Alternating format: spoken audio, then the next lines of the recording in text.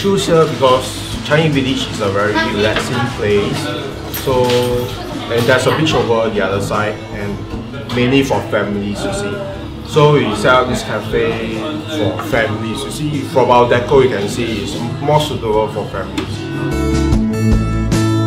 Partly it's also very laid back. We wanted to give people a very relaxed, a place where they can, you know, chillax, if um, or, get away lah, from their normal way of life. It's never ending learning.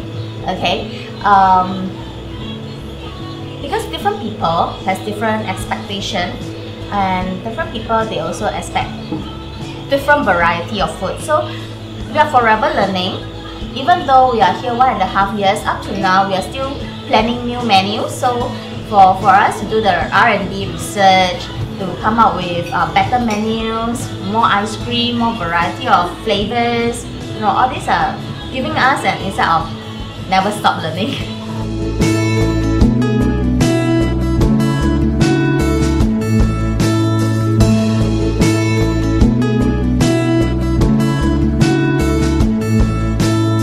First, you have to love your job in order to carry out. Even though that's not your hobby, but you have you must learn to love it. So we kind of treat it as our own child because this is our first establishment. So we treat it like our first child. So we, we need to nurture this shop. Sometimes there are some hurdles we can't maybe want we need to cross, but we need to motivate ourselves in order to cross the hurdle.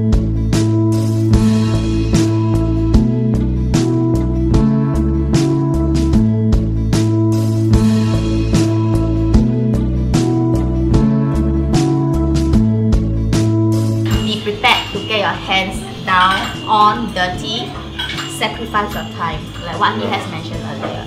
I think all of us have equal fair share of um, Ups and downs. ups and down, long hours here, not enough sleeps, just putting up the decor that day we, we stay up to 3 Yeah. yeah. You see regular customer or cus- returning customer come back to you all the time. You become like as if you are friends and family